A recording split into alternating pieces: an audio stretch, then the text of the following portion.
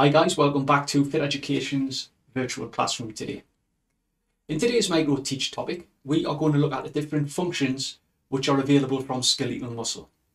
So this is what it can do, what it can't do in those different terminologies.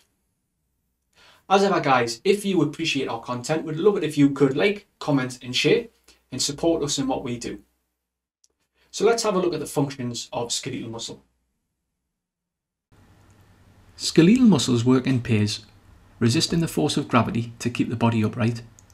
They prevent excess and unwanted movement, protect the skeletal system, and assist the ligaments to stabilise the joints. These functions are possible due to the four characteristics of skeletal muscle, including contractility, extensibility, elasticity, and excitability. Contractility is the ability to contract Skeletal muscles work in pairs and contract and relax to create the movement of the skeleton. Extensibility is the ability to stretch and lengthen. Skeletal muscle is like an elastic band. If the muscle is pulled too far, it can tear. Elasticity is the ability to return to its original shape. Skeletal muscle is elastic due to the elastin contractile proteins. It can stretch and then recoil. Finally, skeletal muscle is excitable as it has the ability to respond to impulses created from the somatic nervous system.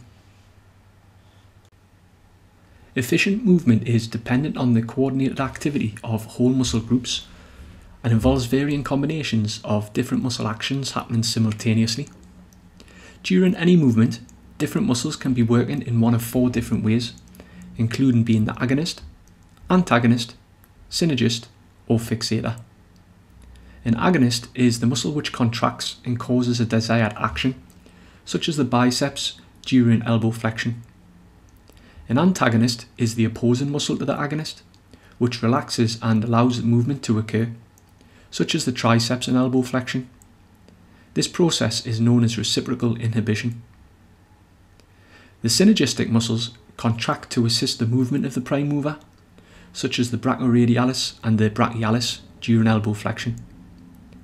Finally, we have the fixator muscles, which stabilise the part of the body that remains fixed, such as the trapezius stabilising the shoulder joint during a bicep curl. As fitness professionals, we need to be aware that each muscle has both a start and an end point. These are known as the origin and insertion. An origin is always the point proximal or closest to the heart, which is typically the anchor point. Some muscles may have multiple origins. An insertion is distal or furthest from the heart, and this usually moves during contraction. Insertions typically have a single attachment point. We can use the biceps brachii as an example. The origin of the biceps brachii is the proximal attachment point, which is the anterior surface of the scapula. The insertion of the bicep brachii, which does the movement, is the distal attachment point, and this would be the radius. We hope that you enjoyed today's content. If you have any questions on what was covered, please leave us a comment below. Or if you'd like to support us in what we do, if you could give us a like, a comment, or share, we'd appreciate your support.